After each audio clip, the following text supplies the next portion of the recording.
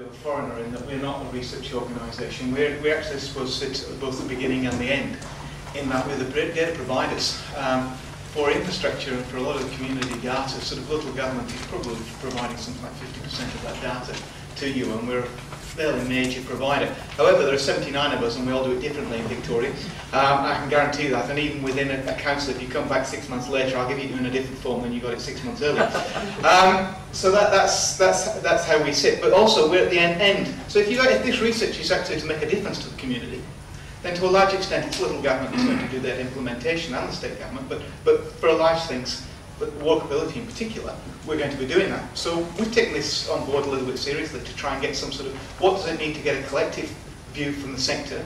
Can we, can we actually operate as a sector to do this? So we, we started this by workshop, and we were a bit blown over, because normally at a workshop when we do something like this, we can't get 14 people there. We had over 50 people turn up to this workshop, um, which indicates that walkability is something that is really um, on, on the edge there. People are really interested, and it's something that caught the imagination. Um, do I just press? Yes. That's one. The other button. The other button. Um, that one. There. uh, yes. Um, so, uh, the objectives of the workshop. Why is it important? We showed a video. We have to talk through people through there. We looked at the issues and facing and the challenges facing walkability. We looked at the outcomes that need to be achieved if we're going to address the problems that walkability is addressing. So how, how much walkability do we need to actually achieve? Um, the strategic options to, to do that, um, and the actions that we need to be able to sort of put those things in place. Um, all, all of this in one day. Um, so we got a whole lot of reasons why strategic comments, but the one I'm just going to focus on probably captures it all there, is the lack of strategic com commitment in many councils limits their ability to drive positive change. So at the moment, you can't get walkability in there because there is no strategic or policy commitment to doing something like that. It's largely still driven by the car. Um, the next big thing, that sort of area there, and again we've got a lot more, but the one I'm going to focus is our commitment to a car-based society is deeply embedded in our culture, um, and particularly sort of around the values and beliefs that we have to our choice um, and freedom of movement and stuff like that. And that makes it very difficult to implement change that challenges the status of the car. You remove car access to the traders on a high street and you will know about it. Political there, and, and, and, and we're a, a, a, locally democratically elected sort of uh, council officers, uh, council, councillors there, and it makes decision making very difficult. So a lot of this is about behavioural change. We have to change our attitudes and our values if you're going to bring walkability in. So we realise that. Um, the other thing is, is that guidance. Um, a lot of our urban design guides and everything actually based around a car-based society. So if you're going to actually try and get walkability in there, you can't because in fact all of the standards and everything you're doing means that by the time you've finished it ends up looking like another car park lot. Um, so uh, all, all of this in one day. Um, so we got a whole lot of reasons why strategic comments, but the one I'm just going to focus on probably captures it all there, is the lack of strategic com commitment in many councils limits their ability to drive positive change. So at the moment, you can't get walkability in there because there is no strategic or policy commitment to doing something like that. It's largely still driven by the car. Um, the next big thing, that sort of area there, again we've got a lot more, but the one I'm going to focus is our commitment to a car-based society is deeply embedded in our culture, um, and particularly sort of around the values and beliefs that we have to our choice um, and freedom of movement and stuff like that. And that makes it very difficult to implement change that challenges the status of the car. You remove car access to the traders on a high street and you will know about it. We're political there and, and, and, and we're a, a, a, locally democratically elected sort of uh, council officers, uh, council, councillors there and it makes decision making very difficult. So a lot of this is about behavioural change. We have to change our attitudes and our values if you're going to bring walkability in. So we realise that. Um, the other thing is, is that guidance. Um, a lot of our urban design guides and everything actually based around a car-based society.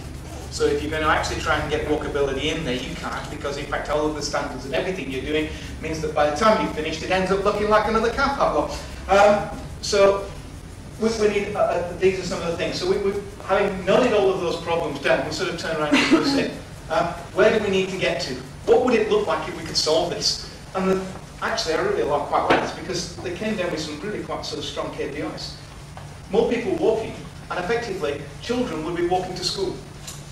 If we actually succeed in this, children will start walking to school. We won't have a queue of, in my suburb, we wouldn't have a queue of four-wheel drives that block the sort of the whole wheel there, and one child jumps out, and the circle keeps going back. Uh, seniors would walk to shops. Uh, commuters would walk to public transport. Uh, citizens would walk to work. In fact, actually, we'd do a whole lot more walking, but we thought, this is where we've got to get to. But there's one real big problem. We don't know how much more walking we've got to achieve. Have I got to get 5% of the population to start walking? Is it 50%?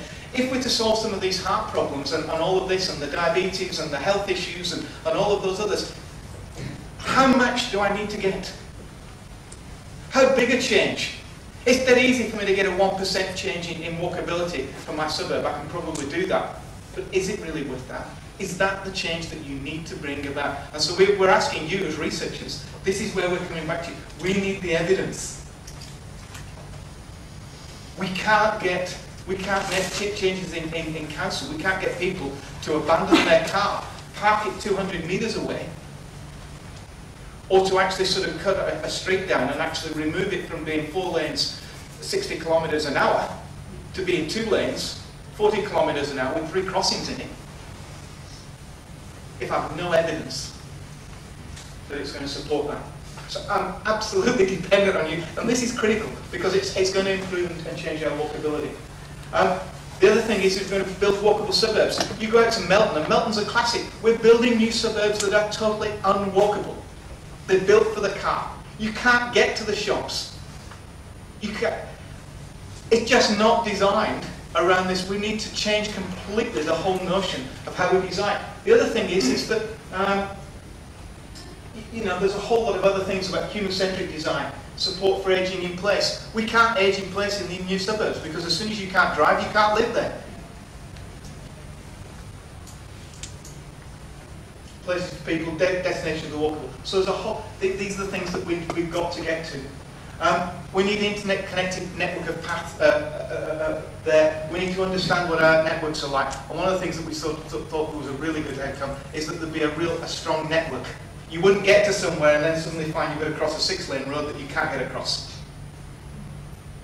You wouldn't be sending your child to school and suddenly find that they've actually got to walk 200 kilometers, 200 metres up the road there, cross over there, 200 metres back down here, they've got to walk 400 metres extra. You know a child won't do that. They'll cross the road, they'll take the risk, and you've let the child go to school. So unless we've got networks that work, um, and we need to... Um, so how are we going to get there? One thing that we sort of said, uh, we need to improve the metro planning strategy, we need to get involved there. There's a whole concept in there of a 20-minute Melbourne. We think that's brilliant, but I don't know whether it's strong enough on walkability. It's still car-based. Um, it's 20 minutes with a car. It's not 20 minutes with walking. It's not change. It's not a paradigm shift. So we think we've got to get in and start introducing that. We certainly want to build on this principle for district networks, which is the stuff that you sort of started seeing there on those networks. And we want to get that across every council. Um, we need evidence if we're going to go in and start sort of affecting the sort of the uh, Melbourne Metro planning strategy. And we need data if we're going to actually start doing the PMP. Um, we actually also need to get it incorporated in, in our policy and the stuff that we do. Strategic statements, council plans, municipal plans. There's a really good example, Big First. They've actually put it, put, Philip, they've actually put walking as the top of the hierarchy. That is the primary mechanism for moving around Port Melbourne. And it's starting to change the whole game.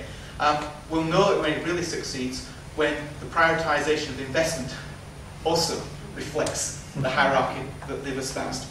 Um, at the moment it doesn't. Investment still goes towards the car. Um, we need to actually start changing our problem statement. At the moment it's all about access. But what about it is about health and about livability? What, is, what if our real problem is actually about the livability and the health of our community, not about whether I've got access?